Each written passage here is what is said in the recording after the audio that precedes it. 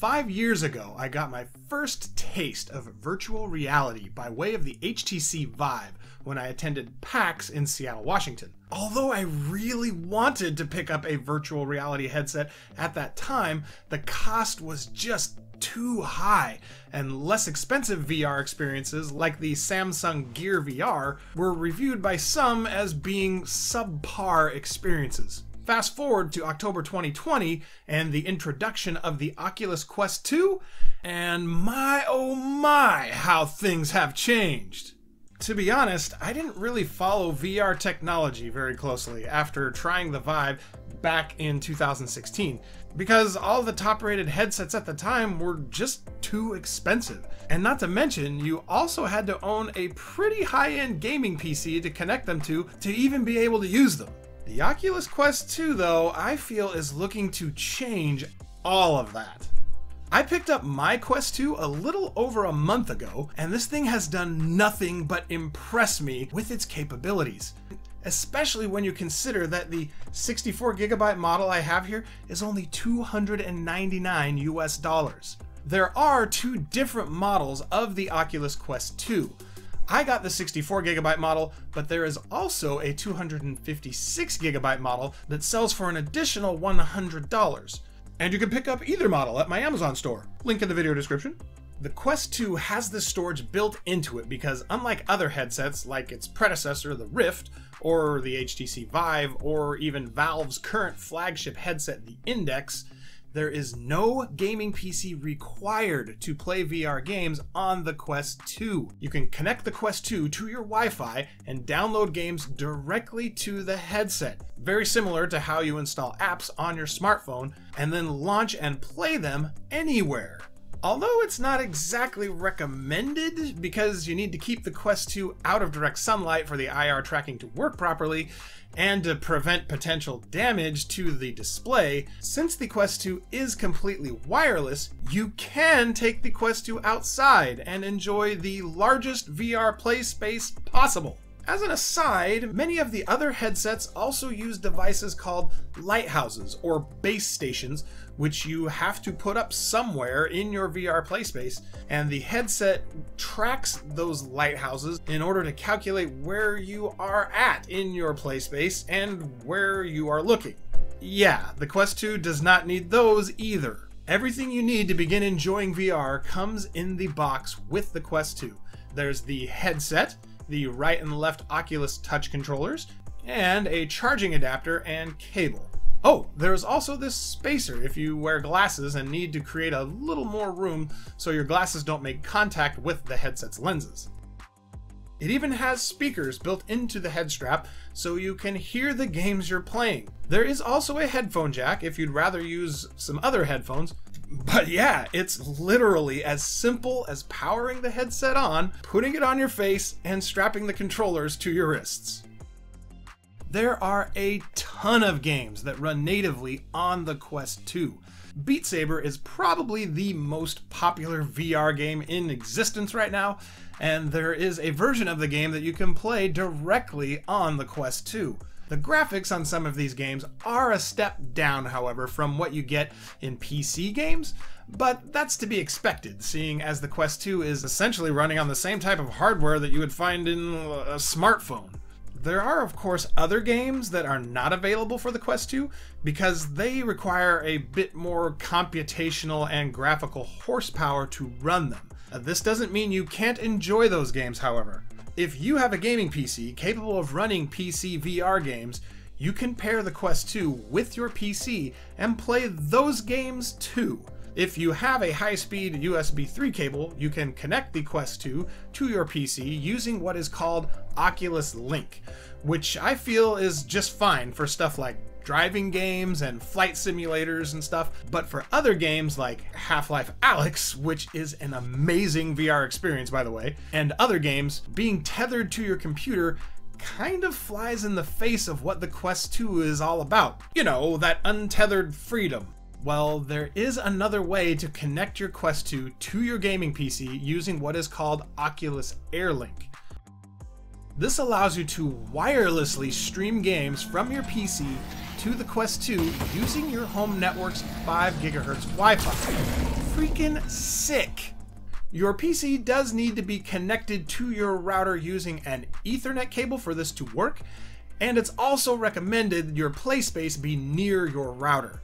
Even though it's still a beta feature as of the making of this video, AirLink works incredibly well, and being able to play games like Half-Life Alyx without a cable dragging around to get tangled up in is nothing short of awesome. One thing I found kind of disappointing when I first used the HTC Vive back in 2016 was what is called the screen door effect. What's happening in a VR headset is you're looking at a pair of screens through a set of lenses that magnify the image on those screens. Of course, as you magnify the image, the individual pixels become more apparent, revealing a visible grid as if you're looking at things through a screen door. When I first put the Oculus Quest 2 on, I was pleasantly surprised to see that this is almost non existent on this headset.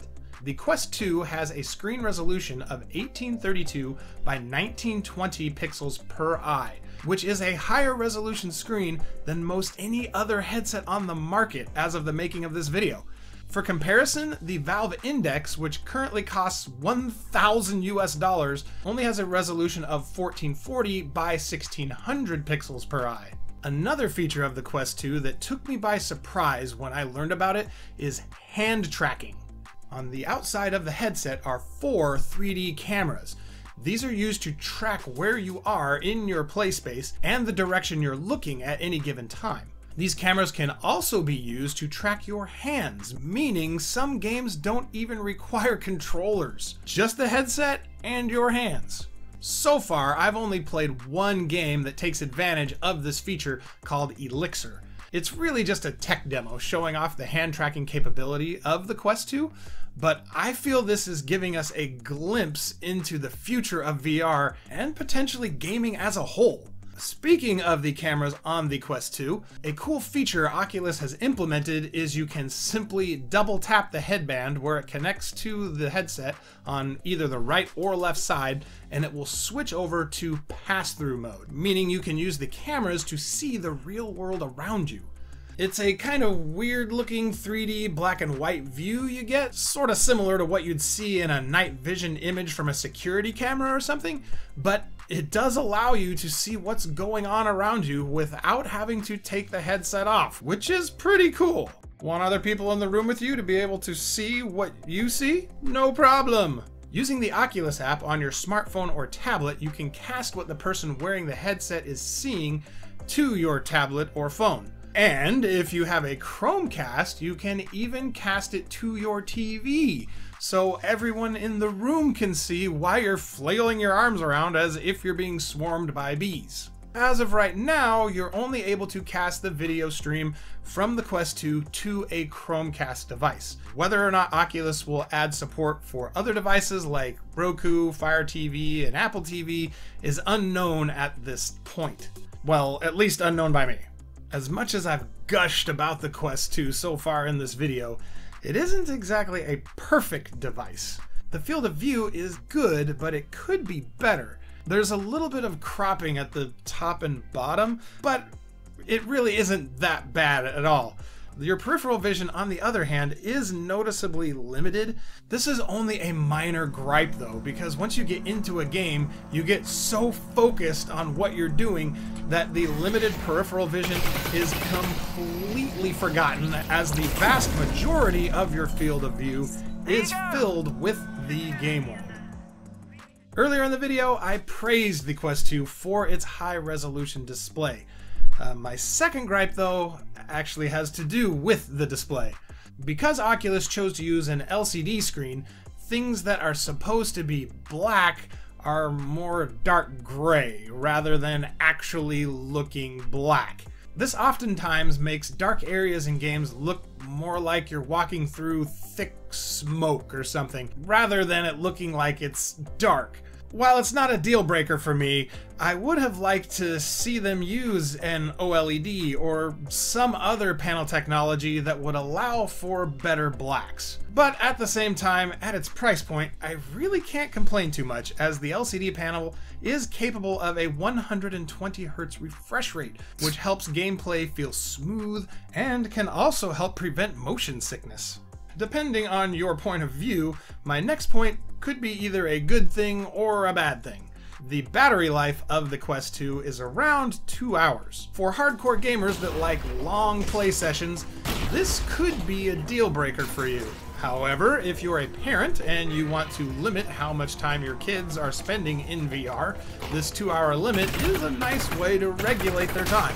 Or if you're like me and can easily get sucked into a game and lose track of how much time has passed, this two hour limit helps keep me from getting sucked in for too long. Because once the battery has run down, there's nothing else to do but stop.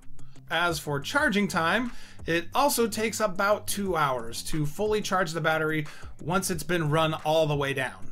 My final gripe is probably my biggest one, and that is you must have a Facebook account in order to use the Oculus Quest 2. Since Oculus is owned by Facebook, they decided to force all of us that want to own a Quest 2 to also have a Facebook account. This wasn't a big deal for me since I've had a Facebook account for a long time now, but yeah, you know, Facebook. All of you young kids watching this who think Facebook is for old people, well, unless your parents let you use their accounts, you're going to have to set up a Facebook account in order to play. So, is the Oculus Quest 2 worth its asking price? That's up to you to decide. VR has really come a long way in just five short years, and I feel like the Quest 2 is just the beginning of a very exciting future. Where do you think VR is going from here? Are you ready to jump in now, or do you want to wait a little longer and see what the next generation of headsets have to offer? Hit me up in the comments and let me know what you think, and uh, do the YouTube things, they help a lot. Thanks.